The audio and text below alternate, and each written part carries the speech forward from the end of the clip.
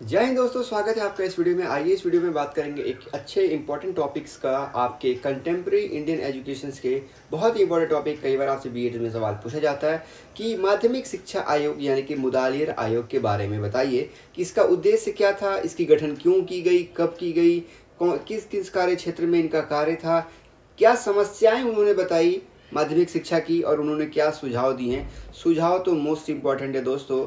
तो आइए इस वीडियो में हम जानेंगे मुदालियर आयोग को। मुदालियर आयोग, दोस्तों, अगर आप तिथि की बात करें, उन्नीस सौ बावन तिरपन, उस समय जब भारत जस्ट आज़ाद हुआ था, सैंतालीस में आज़ाद, और बावन तिरपन में एक शिक्षा के सुधार के लिए एक कमेटी की गठन की गई, एक आयोग की गठन की गई। और आयोग से कहा गया कि उस समय तत्कालीन जो माध्यमिक शिक्षा व्यवस्था है, उस पर रिसर्च करिए और उस पर सुझाव दीजिए। दोस्तों, इस शिक्षा व्यवस्था को भारत की आधुनिक शिक्षा जो हमारी अभी मॉडर्न एजुकेशन है, इसका आधार माना जाता है, इसके नींव माना जाता है। माना जाता है दोस्तों कि उन्नीस सौ में जो शिक्षा आयोग गठन हुई थी, भारतीय शिक्षा का बहुत महत्वपूर्ण योगदान है। इसी के द्वारा ही आधुनिक शिक्षा की नींव रखी गई और एवं इसके आयोग ने विभिन्न सुझाव दिए। और इसके कार्य क्षेत्र में उद्देश्य भी भारतीय स्थिति को ध्यान में रखते हुए इसका निर्णय किया गया। कहने के मतलब दोस्तों, अब जब आपका आज़ादी आपको मिल गई, आपने बच्चों को पढ़ाना है, ये बात तो पता है। कैसे पढ़ाना है? शिक्षा की संरचना क्या होगी? माध्यमिक स्कूल्स क्या होंगे? बोर्ड एग्ज़ाम्स कब होगा? टीचर्स की सैलरी कितनी होगी? कितने घंटे का कार्यकाल होगा? इन सारी चीज़ों पे बात करें, बात करने के लिए, इन सारी चीज़ों के बारे में अध्ययन करने के लिए ये कमेटी गठित की गई थी। तो देखिए, वन बाय वन इसको समझेंगे डिटेल्स में।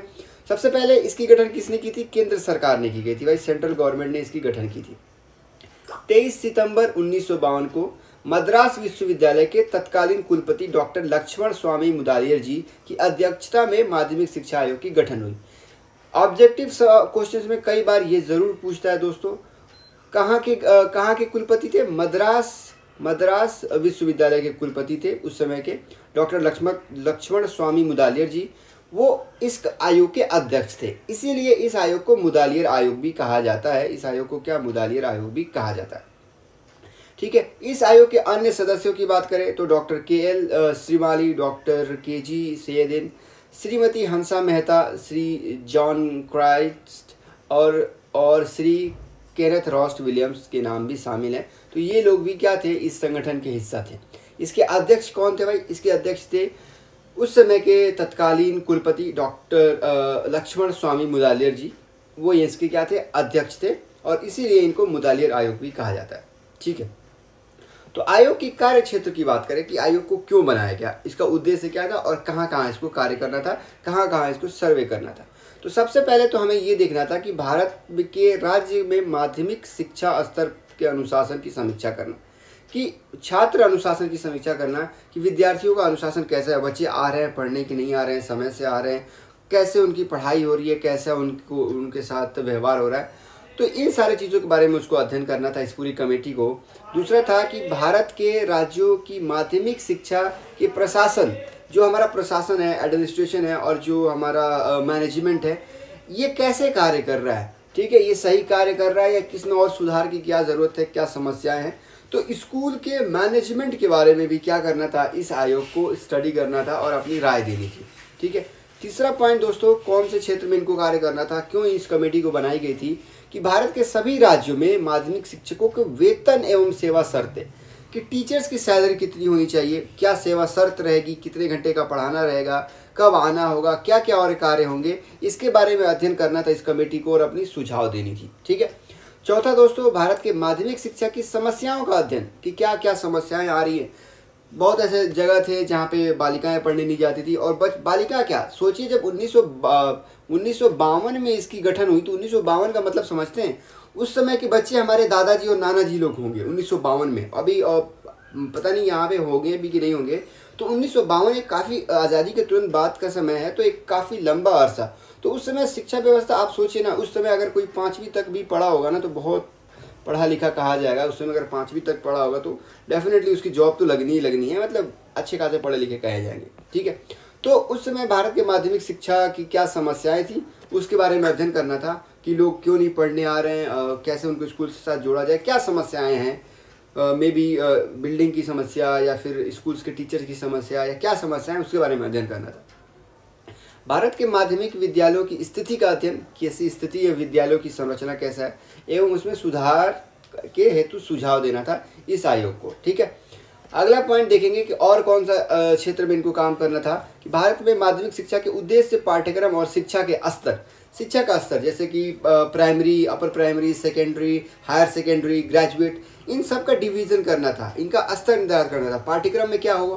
कब से कब पढ़ाई होगी? कौन कौन सा सब्जेक्ट होंगे? कौन कौन सा विषय होगा? भाषा का विषय, विज्ञान का विषय, इसके बारे में और क्यों पढ़ाया जाए? उद्देश्य निर्धारित करना था। इस कमेटी का काम था, इस आयोग का काम था और इसके बारे में सुझाव देना था। इसीलिए तो इस आयोग को आधुनिक शिक्षा आयोग का का न्यू कहा जाता है, आधार कहा जाता है। ठीक है? तो चलिए। सातवां दोस्तों, भारत में माध्यमिक शिक्षा प्रणाली का अध्ययन करना एवं उसमें सुधार करना, और last but not the list आठवां पॉइंट है हमारा, भारत के माध्यमिक शिक्षा के स्तर का अध्ययन करना एवं छात्रों की स्थिति का अध्ययन करना एवं उसमें सुधार प्रस्तुत करना। तो ये सारे वो पॉइंट थे जहाँ पे इस आयोग को कार्य करना था और जहाँ पे इस आयोग को इससे संबंधित अपनी क्या करनी थी, अपनी सुझाव देना था। तो आयोग ने इसके बारे में स्टडी किया। स्टडी करने के बाद सर, केंद्र सरकार को इन्होंने क्या किया? अपना सुझाव प्रस्तुत कर दिया। सुझाव प्रस्तुत करने से पहले इन्होंने पहले क्या करी? समस्याएँ बताई कि ऐसा है, अभी हमारे यहाँ समस्याएँ क्या है? हमें किस क्षेत्र में सुधार करना है? तो मुदालियर आयोग ने अपनी प्रतिवेदन में सर्वप्रथम तत्कालीन माध्यमिक शिक्षा आयोग की दोष का दोषों को सरकार के ध्यान आकर्षित करने के लिए बताया। मतलब सबसे पहले समस्याएँ बताई कि हमारे पास क्या समस्याएँ हमारी क्या दोष हैं, उसको हम कैसे हल करेंगे? ठीक है? बाद में उन्हें दूर करने के लिए माध्यमिक शिक्षा के अधिक प्रभावशाली बनाने के मुदाले कमीशन ने अपने सुझाव प्रस्तुत किए हैं। कहने का मतलब है, सबसे पहले उन्होंने क्या किया? समस्याएँ बताई कि ऐसे अभी ये समस्याएँ हैं और हमको ऐसे ठीक करना है। तो अब उन्होंने सुझाव क्या दिए? सुझाव दोस्तों अलग अलग पॉइंट्स पे देंगे। जैसे सबसे पहले उन्होंने माध्यमिक शिक्षा की समस्याएँ पहले देख लेते हैं कि उन्होंने क्या समस्याएँ बताई। फिर उसके बाद देखेंगे कि सुझाव उन्होंने क्या बताया देखिए, उन्होंने समस्याएँ पहले बताई कि जो अभी हमारे पास माध्यमिक शिक्षा है ना सभी राज्यों में वह व्यवहारिक नहीं है। व्यवहारिक नहीं है का मतलब जैसे अंग्रेज़ी शिक्षा व्यवस्था छोड़ के गए थे, भाई तुम पढ़ाई करो, आप रटिए, रटने के बाद एग्ज़ाम दीजिए, परीक्षा लीजिए और आपका नौकरी हो जाएगी। ईस्ट इंडिया कंपनी में अंग्रेज़ों के अधीन आपकी नौकरी हो जाएगी। तो एक नौकरी बेस्ड थी तो उन्हें लगा, इस कमेटी को लगा कि ये व्यवहारिक नहीं है, जीव जीवन से जुड़ा हुआ शिक्षा व्यवस्था नहीं है। उन्हें ऐसा लगा। दूसरी समस्या उन्होंने बताया कि शिक्षा की जो विधि है, जो पढ़ाने का तरीका है, जो मेथड्स ऑफ़ टीचिंग है, वह बहुत ज़्यादा लाभदायक नहीं है। शिक्षण विधि नए शिक्षण विधियों का प्रयोग नहीं किया जा रहा है। उचित शिक्षण विधि का मतलब सही तरीके से नहीं पढ़ाया जा रहा है। तो इस कमेटी को ये लगा। उन्होंने अगली समस्या बताई कि जो छात्र अनुशासन, सहयोग, नेतृत्व आदि का विकास नहीं हो रहा है, छात्रों के अंदर ना ही अनुशासन आ रहा है डिसिप्लिन आ रहा है, ना ही सहयोग की भावना आ रही है कॉम्पिटिशन की भावना चलती जा रही है कि हमें आगे बढ़ना है, हमें आगे बढ़ना है, हमें ज़्यादा नंबर पाना है। ठीक है? ना ही सहयोग, ना ही नेतृत्व का विकास किया जा रहा है लीडरशिप बनने की क्वालिटीज डेवलप नहीं हो रही है। तो इस आयोग को ये लगा कि छात्रों के अंदर अनुशासन, सहयोग और और नेतृत्व का विकास नहीं हो पा रहा है। चौथा, विद्यालय की समय सारणी उचित नहीं है। इन्होंने माना कि जो हमारा टाइम टेबल है, वो सही से काम नहीं कर रहा है। इसको और बेहतर बनाना चाहिए। तो उन्हें, इन्होंने ये समस्याएँ लगी। पांचवा, दोस्तों, माध्यमिक शिक्षा की परीक्षा व्यवस्था को उन्होंने उचित नहीं माना कि जिस तरीके से केवल हम टेस्ट ले लेते हैं उनकी जानकारी के आधार पर उनके एक पक्ष की जानकारी लेते हैं कि उसने कितना पढ़ा, कितना सीखा, इसके बारे में हम नहीं पूछते। हैं तो इस आयोग को लगा कि जो हमारी परीक्षा प्रणाली है, वह उचित नहीं है। छठा दोस्तों, माध्यमिक शिक्षा के पाठ्यक्रमों को संकीर्ण माना एवं एकांकी माना मतलब उनको लगा कि ये पाठ्यक्रम दूसरों से नहीं जोड़ता है, समाज से नहीं जोड़ता है, सर्वगिण विकास नहीं करता है, केवल एक चीज़ पे विकास करता है। तो उनको लगा कि हमारा जो पाठ्यक्रम है, वो बिल्कुल सही नहीं है, उचित नहीं है। तो इन सारी समस्याओं को अध्ययन करने के बाद, केंद्र सरकार को प्रस्तुत करने के बाद, अब उन्होंने सुझाव दिए कि कैसे हमें और बेहतर बनाना चाहिए और क्या आयोग का सुझाव है। और आप सुझाव जब देखेंगे तो आपको लगेगा कि हाँ सच में ये आधुनिक शिक्षा का आधार है। आधुनिक शिक्षा का यही क्या है? न्यू देखिए, सबसे पहले उन्होंने कहा कि 11 से 17 उम्र 17 से उम्र के छात्रों के लिए इसकी अवधि सात वर्ष होनी चाहिए। तो इन्होंने माना कि जैसे 11 से 17 साल 11 से 17 साल, जैसे class six, seven, eight, nine, ten, eleven, twelve. इन सात सालों को उन्होंने माध्यमिक शिक्षा का क्षेत्र माना। उन्होंने माध्यमिक शिक्षा के अंतर्गत माना। उन्होंने कहा कि ये सात साल जो है वो उसे माध्यमिक शिक्षा के अंतर्गत रखने चाहिए, ठीक है? अब माध्यमिक शिक्षा के बाद शुरू माध्यमिक शिक्षा, प्राथमिक शिक्षा के बाद शुरू होनी चाहिए।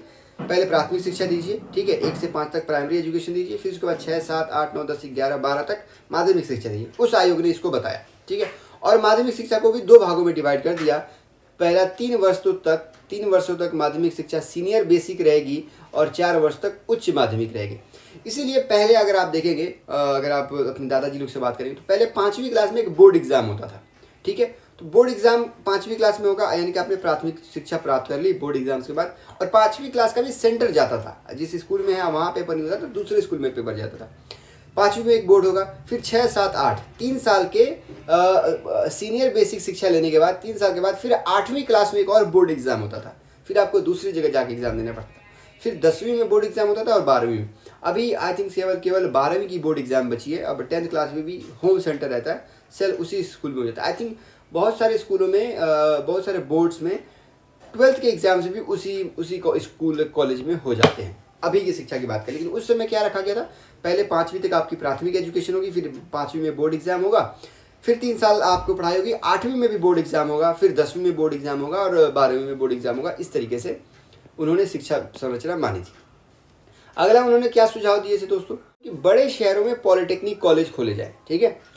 और विकलांग छात्रों के लिए अलग से विशिष्ट स्पेशल स्कूल रहे।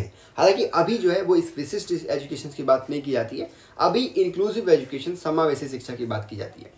बालिकाओं के लिए अलग से विद्यालय हो और अगर जहाँ संभव ना है वहाँ पे को एजुकेशन यानी कि सह शिक्षा दी जाए ओके जो स्कूल का पर्पज़ होगा दोस्तों, वो मल्टी पर्पज़ स्कूल्स होंगे, बहुउद्देशीय होंगे। जैसे अगर किसी बच्चे को स्कूल से पढ़ाई ख़त्म करने के बाद किसी को विज्ञान के क्षेत्र में जाना है, जा सकता है। किसी को कृषि के क्षेत्र में जाना है, जा सकता है। किसी को खेल के क्षेत्र में जाना है, वो भी जा सकता है। तो इस तरीके से बहुउद्देशीय मल्टीपर्पज़ एम्स होने चाहिए स्कूल्स के पाठ्यक्रम की।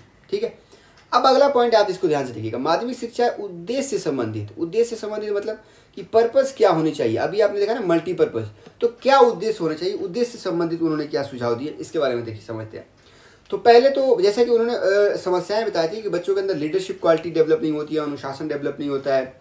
सहयोग की भावना डेवलप नहीं होती है। तो उन्होंने बताया कि उद्देश्य हमारा ऐसा होना चाहिए कि छात्रों में नेतृत्व की क्षमता का विकास हो, व्यक्तिगत विकास हो, सार्वजनिक विकास हो और छात्रों का जीव का पार्जन कर सके। मतलब बच्चे अगर अपनी स्कूली शिक्षा प्राप्त कर रहे हैं, बारहवीं तक क्लास कर रहे हैं तो जैसे उनकी जीव का पार्जन मतलब इस लायक बन जाए कि वो कमा खा सके। ठीक है?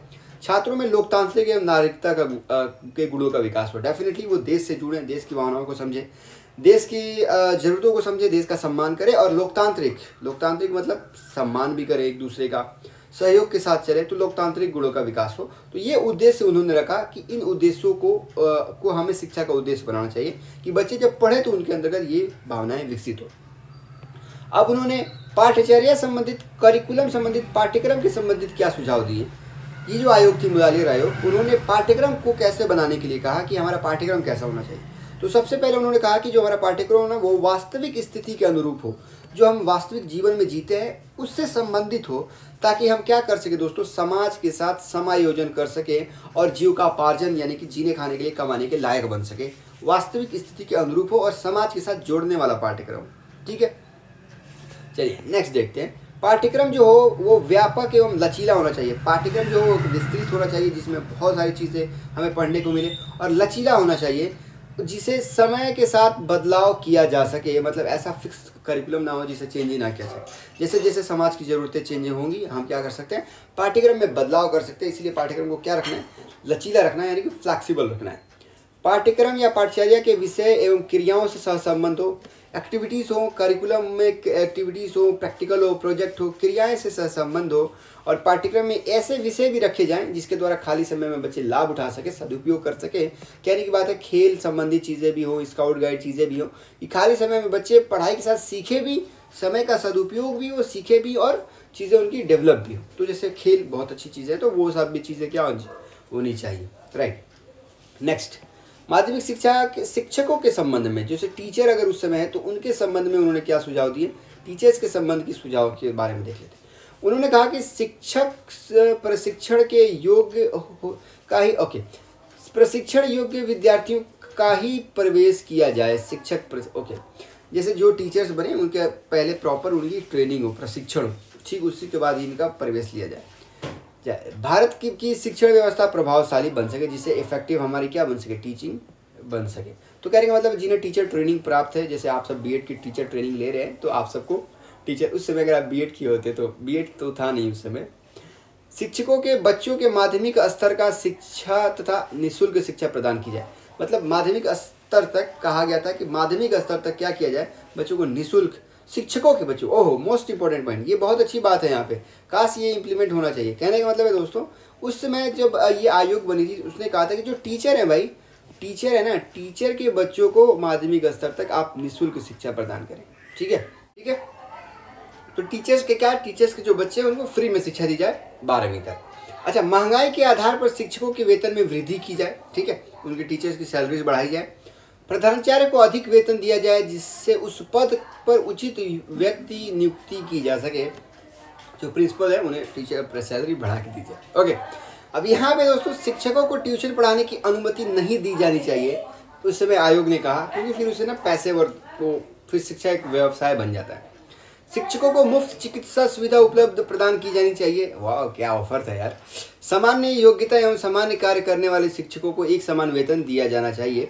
कि जो भाई जिसकी योग्यताएँ समान हो और जो कार्य मतलब जो छठी की पढ़ा रहा है, सातवीं को पढ़ा रहा है, उन सभी को एक समान सिक्स क्लास वालों को एक जैसा और सेवन क्लास वालों को एक जैसा टीचर्स की सैलरी दी जाए ओके तो ये जो सुझाव था वो टीचर्स के बारे में था। एक एक पॉइंट वैसे ध्यान में रखिए, बस ऐसे हँसते खेलते डिस्कस करते हुए जब ध्यान में रहेगा, जब एग्ज़ाम में आएँगे ना, बहुत अच्छे से आप लिख लेंगे, ठीक है? कोई समस्या नहीं बच्चों, आइए, अगला पॉइंट देखते हैं। माध्यमिक शिक्षा, व्यवसायिक शिक्षा संबंधित सुझाव, ठीक है? वोकेशनल एजुकेशन टिप्स के बारे में क्या कहता है? ये आयोग, आइए ज़रा देखते हैं माध्यमिक विद्यालयों में हाथ से बनने वाले वस्तुओं की शिक्षा अनिवार्यता दी जाए। मतलब डेफिनेटली ये चीज़ों को दिया जाए। हाथ से बनाने वाली चीज़ें। हाथ से बनाने वाली चीज़, ताकि बच्चे क्या करें, उसको सीखें ओके माध्यमिक स्कूलों का बहुद्देशीय स्कूल में परिवर्तित कर दिया जाए। एक ऐसी स्कूल व्यवस्था जहाँ पे बच्चे निकल के कई चीज़ों सीख सकते हैं। खेल में भी आगे बढ़ना चाहे, म्यूज़िक में भी बढ़ना चाहे कृषि में बढ़ना चाहे, आप वहाँ से कर सकते हैं। बड़े शहरों में पॉलिटेक्निक विद्यालयों की स्थापना की जाए, शिक्षा को समाज की आवश्यकता के अनुरूप बनाया जाए तो ये दोस्तों व्यवसायिक शिक्षा के बारे में उन्होंने सुझाव दिए थे। कुछ और भी सुझाव दिए गए थे, जैसे परीक्षा संबंधित सुझाव, शायद यहाँ पे मेंशन नहीं, लेकिन इतना काफ़ी है, ठीक है? अगर आप इतना पढ़ लेंगे, समझ लेंगे डेफिनेटली आपका बहुत अच्छे से एग्ज़ाम हो जाएगा। आपने इस वीडियो में पढ़ा क्या दोस्तों? इस वीडियो में ये पढ़ा कि मुदालियर आयोग, ठीक है माध्यमिक शिक्षा आयोग, उन्नीस सौ में इसकी गठन हुई थी। इसका उद्देश्य क्या था? कार्य क्षेत्र क्या था? समस्याएँ क्या थी? और इसका गठन कब हुआ था? इसके बारे में विस्तृत आपने जाना इतना ही जानना है आपको। इस टॉपिक बहुत विस्तृत दोस्तों, बहुत बड़ा है। अगर आप पॉइंट वाइज देखेंगे ना तो फिर उस पॉइंट में भी कई चीज़ें मेंशन है। तो सबको ना आप एग्ज़ाम पे लिख पाएँगे और, क्योंकि समय की सीमा होती है, अपनी लिमिटेशंस होती है। तो इसीलिए मैंने भी इस वीडियो में इतनी चीज़ें मेंशन करी जो आपके लिए इंपॉर्टेंट है, जो आपके लिए बहुत ज़रूरी है। तो इस वीडियो में अगर आप देखेंगे तो आपकी आराम से ये वाली टॉपिक क्लियर हो जाएगी और डेफिनेटली इसी से सवाल आपके पूछे जाते हैं, ठीक है? मैं ऐसा करता हूँ, वीडियो आपको पसंद आएगा। मुझे बड़ा अच्छा लगा, मुझे मतलब मुझे अच्छा लगा कि मैं ऐसे, मेरी भी प्रिपरेशन हो गई ना, मुझे भी ये चीज़ें, ये टॉपिक क्लियर हो गया। और मैं ऐसा करता हूँ, आपको भी समझ में आ गया हो। सो आप सभी को थैंक यू सो मच बहुत बहुत शुक्रिया। और थैंक्स फॉर वॉचिंग मतलब बहुत बहुत शुक्रिया आप सबको देखने के लिए। नहीं जुड़े हैं चैनल से तो सब्सक्राइब कर लीजिएगा। मैं हमेशा ये चीज़ें लास्ट में कहता हूँ लाइक कर दीजिएगा, वीडियो पसंद आ रही हो तो कमेंट कर दीजिएगा कमेंट बॉक्स में आके। और थैंक यू सो मच मेरे एडिटर को, जिन्होंने ये पूरा पीडीएफ बनाया है। अच्छा काम कर रही हैं आप। ऐसे ही काम करें, आगे बढ़े, ठीक है? पेमेंट आपको टाइम से मिल जाएगा। तो बहुत बहुत शुक्रिया आप सभी को वीडियो को देखने के लिए। दोस्तों कमेंट में अपनी राय दें, कैसा लगा आपको वीडियो? आगे कौन से टॉपिक पे आपको वीडियो चाहिए, वो भी आप मुझे बता सकते हैं। डेफिनेटली उस पर बनाया जाएगा, ऐसे साथ में पढ़ा जाएगा ओके तो चलिए, जाने का मन नहीं कर रहा, फिर भी जाना होगा, क्योंकि अगली वीडियो में फिर आना है। इस वीडियो में फ़िलहाल इतना है। जय हिंद, जय भारत।